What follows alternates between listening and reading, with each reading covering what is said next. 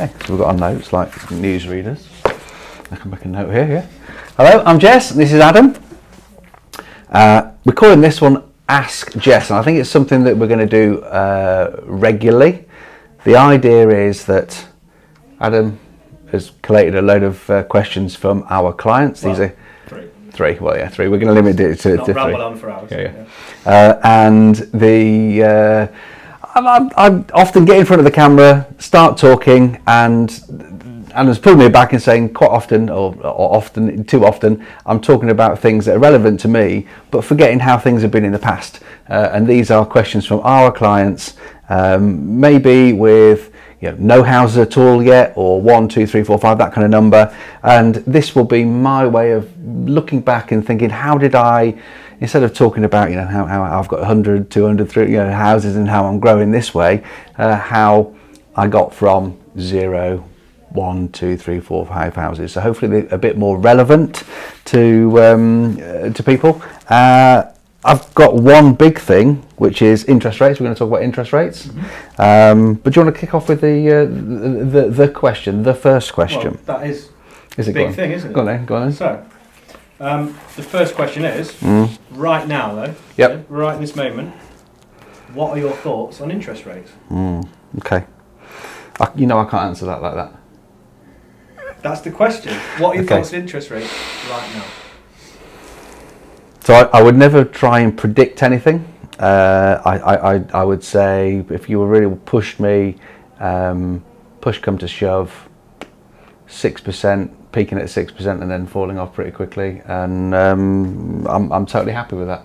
I think all of this stuff. My my full answer is well, th- th- there's the usual three things. Um, make sure you've well let's go back from that Th- th- this is a great opportunity all of these problems that are out there this uncertainty the um, what would you call it turmoil it all creates opportunity. So if you're coming from a power of you've got a plan you know where you're heading you've got you've got strength there then you're just going to make a good opportunity. I think this is some of the happiest hunting we're going to come up against over the next couple of years um, because of some of the uncertainty. Number one have a plan. Know know that you've got a good foundation um, and even down to right house, right area, right tenant, right rents. You know, if somebody's saying, "Oh, interest rates are this," that's okay because my rents went up by this. So actually, um, I'm not. I, I'm, I'm personally, I've checked it. I'm, I'm, I'm, not uh, not down. But some of my interest rates are going up. Some are fixed. All of my rents are going up. Not one rent hasn't gone up in that period of time. So, uh, cash flow wise, lots of people buy for cash flow. So um, that that I'm roughly about the, the, the same. Um, second thing, have everything rooted in facts. Well, yeah, there is that. I'm, I'm hearing lots of. I mean, I, I, free. I know what one of those questions is uh, later on, and I've seen other things, and um, we've got a couple of Facebook channels, and, and um, you can sort of see the feed coming through there, and ah, some of it's nuts. It's like it's, like, it's, it's crazy. Like knee-jerk reactions to some stuff.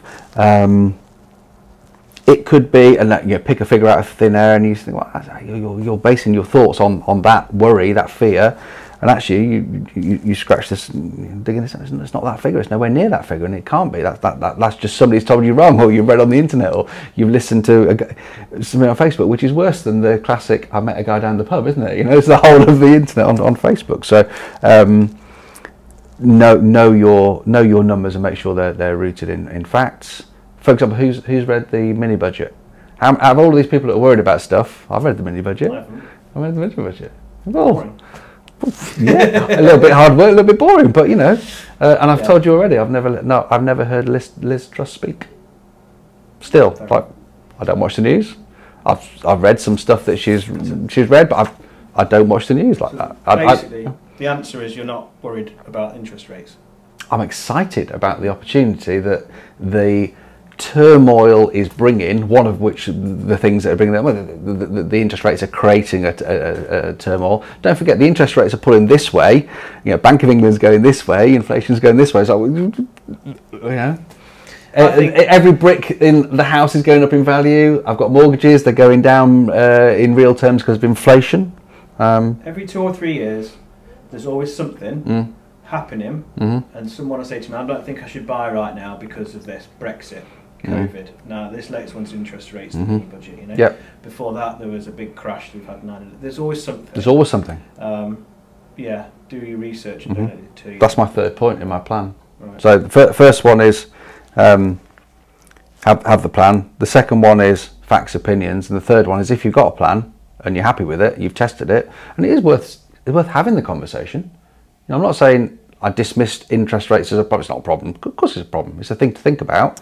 Looked at it, fact checked. My rents are gone up by this. That's gone up by this. It's creating an opportunity. I'm happy with all the other things. Number three thing is execute. If you've got a plan, execute exactly as you said there. There's always a thing. There's always a reason not to invest. Um, here's another fact, and um, diff, diff, say fact, fact in inverted commas, because different you, you could find different variations of the number, but it's roughly about this.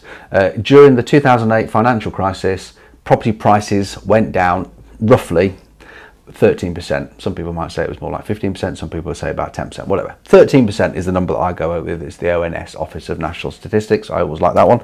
Um, that's all the market, all the properties. We buy the rental stock, which is you know where the, the, the value of the house and the rental, the yield's are about right. So that's generally speaking the cheaper stuff. I know that in 2008, the houses that I was buying were going up in value still. Know, the rest of the market was crashing. Um, so if I'd have based my decision and not bought that, how many houses have I? I've been refinancing houses now that I bought in 2008, and it's the third time I've done it. I pulled out well, but they've all doubled in value more. Um, it's hundreds of thousands of pounds pulled out on houses that I could have found a very good reason not to buy. So life's short, you know. Um, let's put it in, you know, facts. Thirteen percent, the worst ever. You know, the worst in living memory.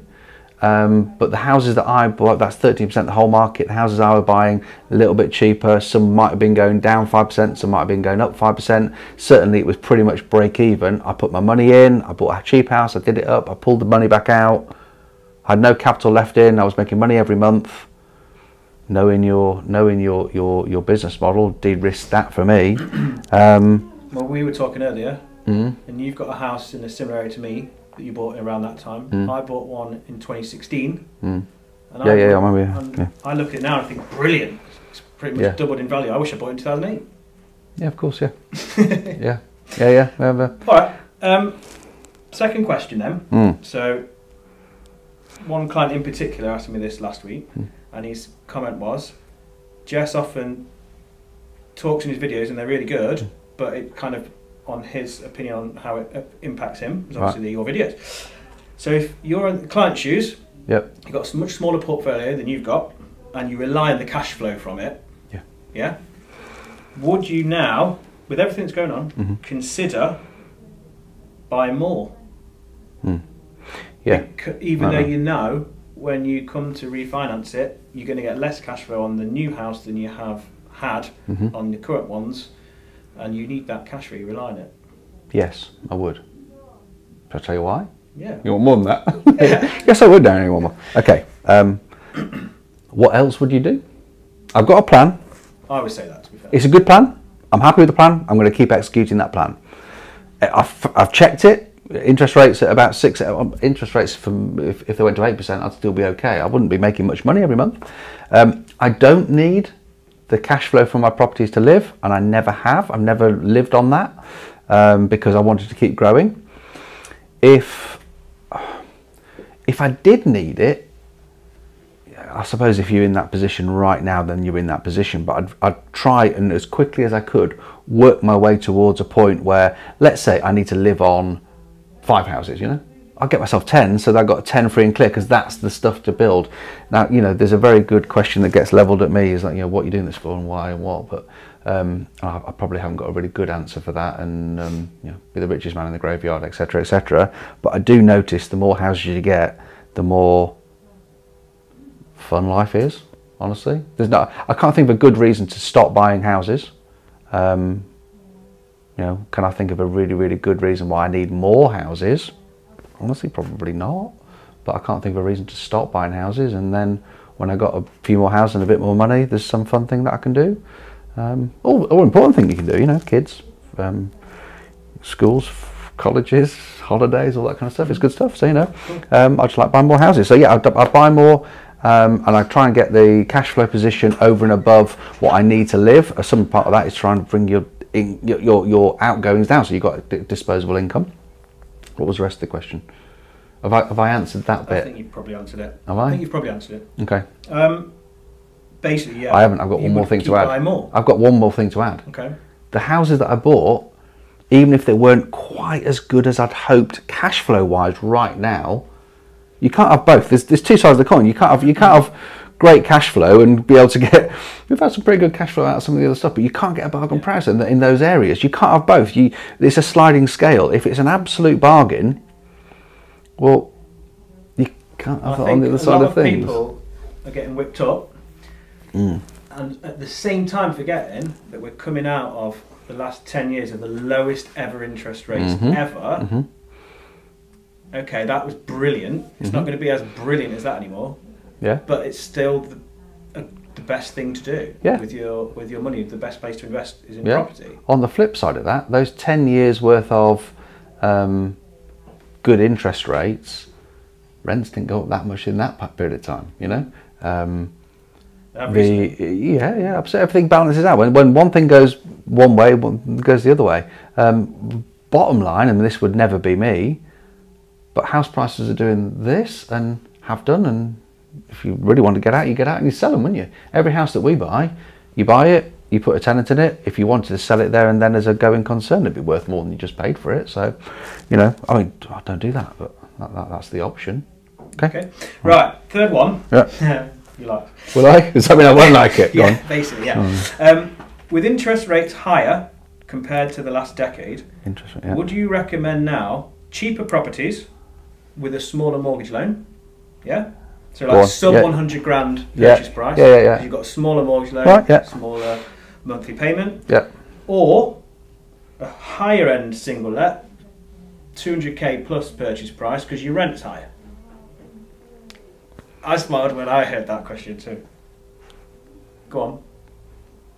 It's a sliding scale. Like you say, it's not. It's a non-question. It's, it's a question, but it's a. It doesn't. that- You don't relate one thing to the other. Well, you you, you, you keep track of them. It's okay. Right, I don't need to answer that one. um, uh, let's break that I down. think you break it down into risk. So if, yeah. I, people are always worried about, oh, my, is my rate going to get paid? So if my rate doesn't get paid on I the see what you- I see what you smaller mean. house, Mhm. there's less, you know, Hmm. to cover in that period until you claim your rent back. Tenants through generally, legal tenants generally speaking pay their rent. If you're That's really why- worried about that, That's where that you fear get comes from. you That's get where you get comes out of fear of that. Probably. Possibly.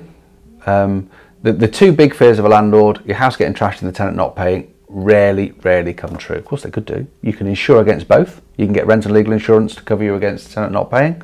You can get malicious damage cover on your insurance to insure against that if that's what you, yeah. yeah. So if you're worried about that, I mean, I don't have those insurances.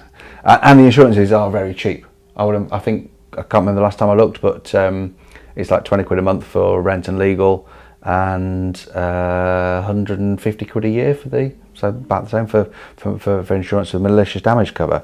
So it's cheap which tells you the insurance companies know that it doesn't really happen very often. Um, yeah so so the other the other part of the question is the houses we buy from anywhere from 100 to 200,000 pounds. That's typical rental stock isn't it? Um, would I buy a 500,000 pound house that rents for 2,000 pounds a month or you know the two two thousand pound two hundred thousand pound house that rents out for you know 12 30 I, I wouldn't go that end. So if we talk about that kind of house million pound mansions to rent out no. But then the band of houses that we buy the, the, the, the what's what's a deal and when the deal runs out from a hundred thousand pounds to two hundred thousand pounds that's quite a narrow band really. I mean it's double. One's one's twice as expensive as the other. But the increase in risk is is very minimal. You know, it's, it's, that that's a lot of houses. It's a very core, you know, housing stock in the UK, isn't it? And when you look at the rent versus the capital um, value of the house, then as the value goes up, the rents do go up. Not quite as much, but they do. Um, and when you go start of over that, the rents stop going up as enough to cover it. So, um, yeah, as long as you stick in that band, I wouldn't really care either way. One of the, the biggest um, ways it affects it is, and, and I was explaining earlier, I, I think the biggest lever any landlord has got, the biggest, the most significant decision they've got to got to make is, do I do I stop or do I keep going? Because if if if you keep going and you keep going, you keep going, if you're like I said, property prices went down by 13% or up by 5% or 2%, but it, it, it's basically on a marathon, it's a small up or a small down. It's not, it's not crazy, it's not crazy. If over the period of 10 years you just keep going, whether it's up or down, up or down, the fact you kept going is worth way more than whether you managed to time it a little bit here or a little bit there. Don't forget, you can't abstain from doing anything, abstain and uh, then buy 10 houses it takes time. You've got to build them. You've got to build. You've got to build. You probably, unless you can, but if you can, then you could have bought 100 in that time. So we're talking about one capital pot into a house, wait for it to go up in value a bit, add some value to it by doing whatever, new kitchen, new bathroom, recycling the money out. That takes some time. It just, it just takes six, seven, eight, nine months. So you can't get to, you know, I did nothing for 10 years, money in the bank's eroding, never mind, forget about that. Uh, and then on the fifth year, all the houses I would have bought in those five years, I just bought buy them all now in year five. You will not do that. It's impossible. You can't. You can't. You can't do that. So the, the most important decision you've got to make is just keep going. It's a marathon. There might be a little bit of an uphill. There might be a little bit of a, a downhill. But generally speaking, if you keep going over the course of a decade, um, you'll look back and you know not not everything's been plain sailing when I've been buying them, but um, I'm glad I did. It also gets easier after, True. after you know, people say, "Oh, it's all right for you because you got more houses." Not true. Like if I've got one house, if somebody's got one house and it's bad, it's going wrong. It's one house going bad, it's wrong. You can probably cover it on your on your um, your salary. If you've got 10, 20, 100 and they're going wrong, you can't, you're in trouble. So I need to make sure that I have got that bedrock, that rock solid foundation, the right kind of houses. Um, but I think I think there is something that comes with having, as long as everything's right, once you've got five, six, seven houses, we notice, our clients, some of these questions don't come out anymore. That's fair to say? Yeah. Um, oh, we hit on something there then. If you're worried about those things, it, they disappear after four or five. So the answer is buy more, then you get over it, which is true. Yeah, yeah. When, when I when I was first um, ask those kind of questions, you know, I, I, quite quickly, this is the point that Adam and I are doing these together because Adam's bringing um, everybody's um, uh, sort of consciousness into me. So I you know, checking rather than just me talking and um, nobody checking checking me and, and pulling me back. then then I get these because these are genuine things. But I, honestly, my, my first thing is right. Just go buy more. Just go buy more, and it's informed by having bought loads more. I know I've probably always been a bit gung ho like that just buy more and buy more, and that was the answer. Um, but it worked, you know. And after four, five, six houses, you'll find that the, the, the profits that are coming in, as long as you bought the right house in the right area and they're making the right money, they'll all start to work, and then you'll get a lot more confidence. You'll see what's happening, and you can actually afford. You, you, it'll take a knock as well, won't it? You know, if, if interest rates do go up a bit, or if you do get a void, you look at it and go, yeah, I'm all right. So don't don't cut it to the to the bone. You're always quite good at that. Speaking to clients about you know, if this is if this is your last penny, don't don't do it. Don't do it. You know, make sure that you've got enough spare, a buffer, to cover a, a knock.